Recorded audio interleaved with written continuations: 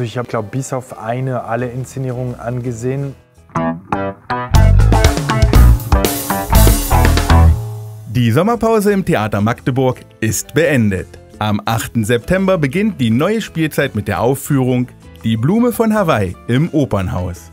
Generalintendant Julien Chavin inszeniert die Operette. Wir machen jetzt die Operette in eine neue Fassung. Operette muss man immer neu erfinden. Operette ist nie etwas, was man eins zu eins so wieder spielen kann. Wir machen nicht nur ein neues musikalisches Arrangement, die Dialoge wurden auch neu geschrieben. Der Schweizer geht in seine zweite Spielzeit als Generalintendant. Er zeigt sich zufrieden mit seiner ersten Spielzeit, hat er aber die große Herausforderung, das Publikum kennenzulernen. Also man kann sich äh, Stunden und Stunden, Monate lang vorbereiten, aber das Publikum kennt man erst, wenn man Sachen aufführt. Das Magdeburger Publikum hat nun die Möglichkeit, das Theater beim Theaterfest am 9. und 10. September besser kennenzulernen und mitzumachen.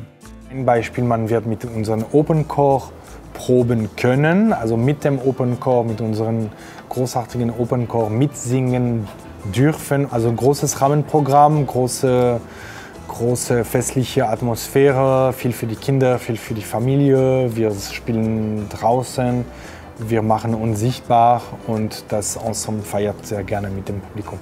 Weitere Auszüge vom Interview mit Julien Chavin findet ihr auf kompakt.media sowie in der Kompakt Zeitung.